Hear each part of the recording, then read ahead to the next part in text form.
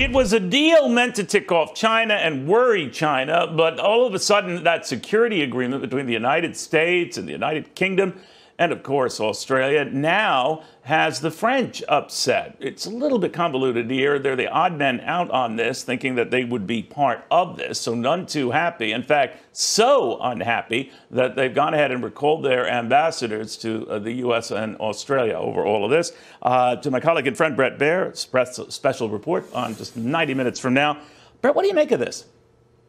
Neil, it's actually a big deal uh, diplomatically for an ally like France to pull their ambassador, uh, Philippe Etienne, uh, back to Paris uh, from from the U.S. That is just shows how really angry they are about this deal coming together and that they were blindsided by it. Just to frame it a little bit, um, this is a deal about nuclear submarines with the U.S., Australia, the U.K., and you're right to say that it's meant to kind of put the pressure on China in that uh, neck of the woods. However, to do that, Australia ripped up a deal to do French nuclear submarines for the tune of $90 billion. And um, the French didn't see it coming, and they are really blaming the Biden administration for not keeping them in the loop.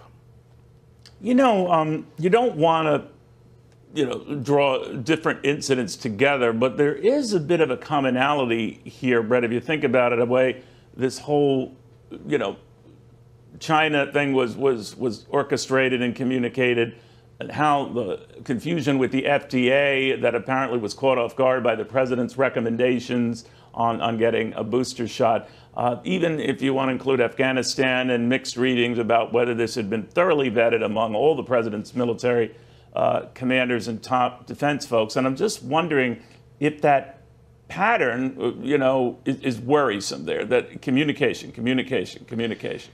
Well, listen, I think his critics, the presidents on Capitol Hill, say it fits into this broader narrative of competency and how this administration is dealing with all kinds of different things at the same time.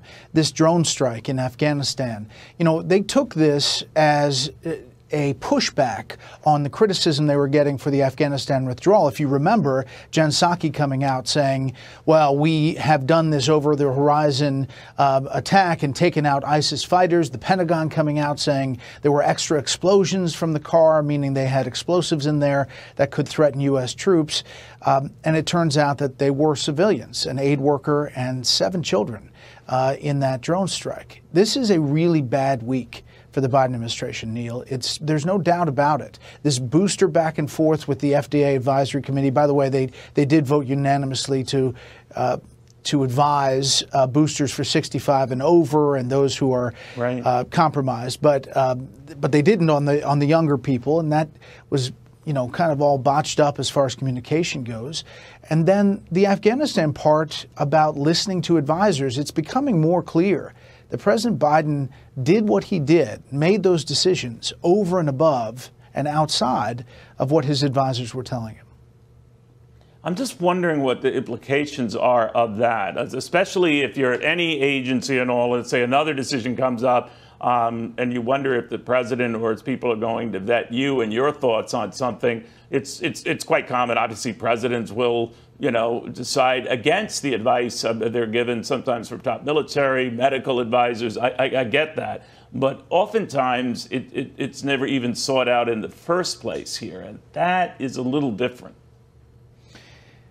Joe Biden is unique. He has 50 plus years of Washington experience.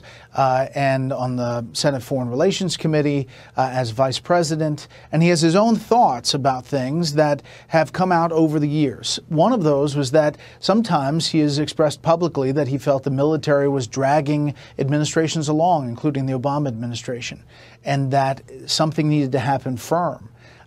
It may be that we find out that President Biden decided this on his own uh, outside of all of the advice that he was given. We'll see over time. Um, and I think a lot of that will come out in this hearing uh, that we'll get on September 28th with uh, Chairman of the Joint Chiefs, Mark Milley, and others. Uh, I just think overall, this is not a great week. Um, the drone strike aside, there's protecting U.S. forces, there's all kinds of things that happen in war, but it adds to this narrative, uh, and I usually hate that word, but it is this week, a narrative yeah. uh, that his, his uh, opponents are jumping on. Yeah, this was supposed to be the week of the pivot, and he pivoted into even more hot water. Um, Bret, thank you very much, my friend. Look forward to seeing you Uh, in about 90 minutes.